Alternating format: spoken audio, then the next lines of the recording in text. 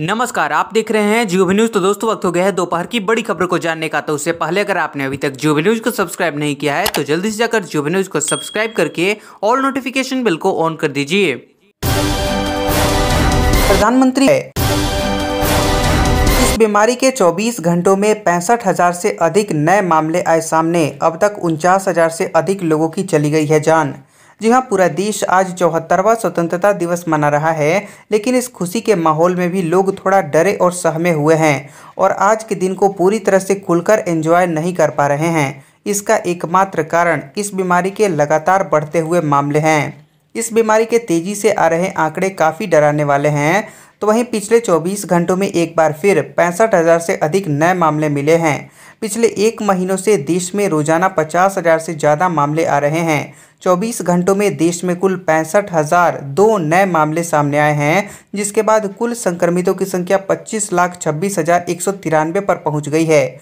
इस बीमारी की वजह से पिछले एक दिन में नौ सौ छियानवे लोगों ने जान गंवाई है, जबकि अब तक कुल उनचास हज़ार छत्तीस लोगों की इस बीमारी से जान चली गई है। केंद्रीय स्वास्थ्य मंत्रालय की रिपोर्ट के अनुसार देश में इस समय इस बीमारी से संक्रमित छः लाख अड़सठ हज़ार दो सौ बीस लोगों का उपचार चल रहा है और अब तक अट्ठारह लाख आठ हज़ार नौ सौ छत्तीस लोग ठीक हो चुके हैं। बीजेपी ने महाराष्ट्र के पूर्व मुख्यमंत्री देवेंद्र फडणवीस को बनाया बिहार का चुनाव प्रभारी।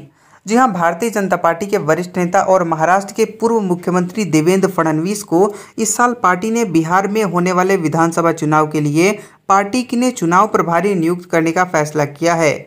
महाराष्ट्र के पूर्व सीएम देवेंद्र फडणवीस, पार्टी महासचिव भूपेंद्र यादव के साथ बिहार चुनाव की रणनीति तैयार करेंगे। आपको बता दें कि महाराष्ट्र चुनाव के दौरान बिहार के बीजेपी प्रभारी भूपेंद्र यादव को महाराष्ट्र का चुनाव प्रभारी बनाया गया था। इस दौरान देवेंद्र फडणवीस और भूपेंद्र यादव के बीच काफ़ी अच्छा तालमेल देखने को मिला था। पार्टी अब इस जोड़ी को एक बार फिर से बिहार चुनाव में भी आजमाने की कोशिश कर रही है। इसके अलावा पार्टी और संगठन में भूपेंद्र यादव की सक्रियता अधिक होने की वजह से उनके साथ देवेंद्र फडणवीस को बिहार चुनाव में लगाया गया है। पंजाब के शिक्षा मंत्री सिंगला का बड़ा बयान, कहा, मुफ़्त स्मार्टफ़ोन देने का वादा करने वाले धोखेबाजों के झांसे में न आए। जी हाँ पंजाब के शिक्षा मंत्री विजय इंदर सिंगला ने जनता को सचेत किया है कि वह पंजाब स्मार्ट कनेक्ट स्कीम के अधीन मुफ़्त में स्मार्टफ़ोन देने का वचन करने वाले ऑनलाइन धोखेबाजों के झांसे में नहीं आए। व्हाट्सएप और अन्य सोशल मीडिया प्लेटफॉर्म पर घूम रहे फर्जी संदेशों का गंभीर नोटिस लेते हुए सिंगला ने बोला कि पंजाब स्मार्ट कनेक्ट स्कीम सिर्फ़ गवर्नमेंट स्कूलों के बारहवीं क्लास के स्टूडेंट्स के लिए है और उनको सरकारी स्कूलों में प्रवेश के आधार पर मुफ़्त में स्मार्टफ़ोन मुहैया कराने की लिए की जा रही है। इसलिए अन्य लोगों को ऐसी स्कीम के दायरे में लाने का प्रश्न ही पैदा नहीं हो रहा है।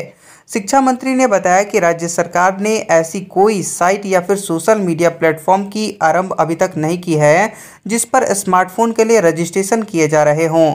उन्होंने ऑनलाइन धोखेबाजों को साइबर क्राइम रोकथाम कानूनों के अधीन गंभीर नतीजे भुगतने की चेतावनी जारी कर दी है। उन्होंने जनता को बताया कि मोबाइल संदेश या फिर व्हाट्सएप द्वारा फैलाए जा रहे ऐसे संदेशों और यूआरएल लिंक पर क्लिक ना करें, जहाँ सरकार द्वारा मुफ़्त स्मार्टफ़ोन देने के लिए रजिस्ट्रेशन करने को बोला गया हो। लोक जनशक्ति पार्टी की अहम बैठक आज नीतीश कुमार को बड़ा झटका दे सकते हैं चिराग पासवान।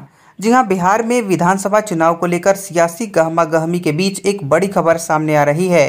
रामविलास पासवान के बेटे और लोक जनशक्ति पार्टी के प्रमुख चिराग पासवान आज बड़ा ऐलान कर सकते हैं। कहा जा रहा है कि लोजपा आज बिहार की नीतीश कुमार की सरकार से अपना समर्थन वापस ले सकती है। इस तरह बिहार में एनडीए को एक बड़ा झटका लग सकता है। पटना में आज लोजपा कार्यालय में पार्टी की अहम बैठक होने वाली है और सूत्रों से मिली जानकारी के मुताबिक पार्टी सुप्रीमो चिराग पासवान बैठक में बड़ा फैसला ले सकते हैं। पार्टी सूत्रों ने ये जानकारी दी है कि जदयू के वरिष्ठ नेता ललन सिंह ने प्रधानमंत्री नरेंद्र मोदी का अपमान किया है और इसी वजह से पार्टी ऐसा कर सकती है।